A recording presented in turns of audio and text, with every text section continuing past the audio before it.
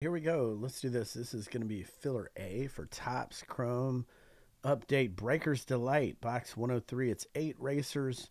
First place is going to get three spots in the break. First place is going to get three spots. So here we go. Uh, one, two, three, four, five, six, and seven. Off to the races we go. First place going to get three spots in the break. So Got our eight racers here. And uh, let's see what we got here. Stephen K's got the the two Stephen K twins are kind of battling out here for first place with 10 seconds left. Oh, Stephen K, can you hold off the field at 5 seconds left? Stephen K, can you hold him off? Stephen W comes from the bottom to win this thing.